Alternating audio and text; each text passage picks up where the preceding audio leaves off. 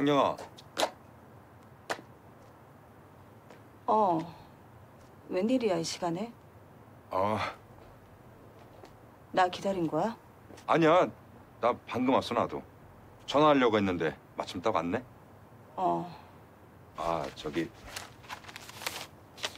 이거 얼마 안 되는데 생활비에 보태 쓰라고. 아니 이번에 드라마 출연료 들어왔거든.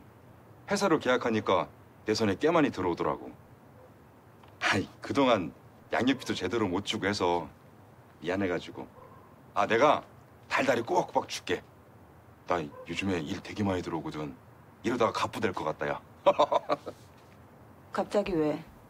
왜 양육비를 주는 건데? 야 갑자기는 무슨 내가 애들 아빠잖아 줄 수 있으면 당연히 줘야지 그 부분은 계산 다 끝냈잖아. 우리 이혼할 때.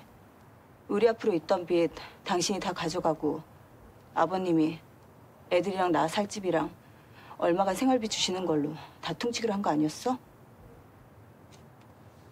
아이, 그랬지 그랬는데 그건 내가 워낙 수입이 없었으니까 그럼 됐어.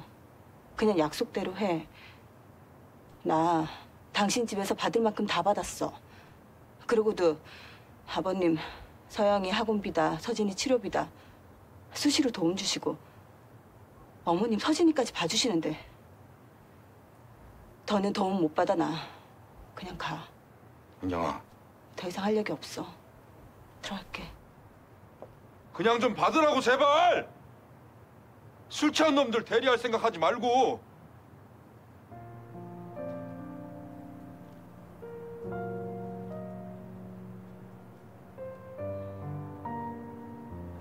어떻게 알았어?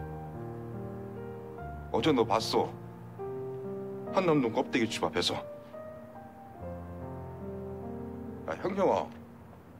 참, 어려우면 어렵다고 말을 하지 좀.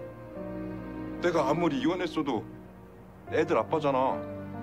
너랑 아무 상관없는 사람이 아니잖아 나. 나한테 좀 의논 좀 하면 안 되냐? 나한테 의지 좀 하면 안 돼? 왜 네가 거기서 대리를 하냐고 왜?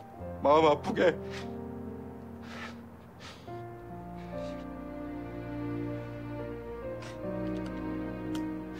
현경아 이거 이거 받아. 어? 이거 받고 그딴 거 하지 마. 내가 달달이 줄게. 땡빛을 지더라도 줄 테니까 그런 거 하지 말라고.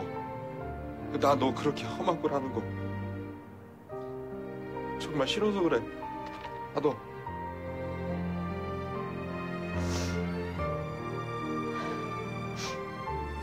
가. 당신이랑 상관없는 일이야. 애들 때문에 그러는 거면 걱정 마. 서진이 일 있고 나선 애들 재우고 밤에만 나가니까.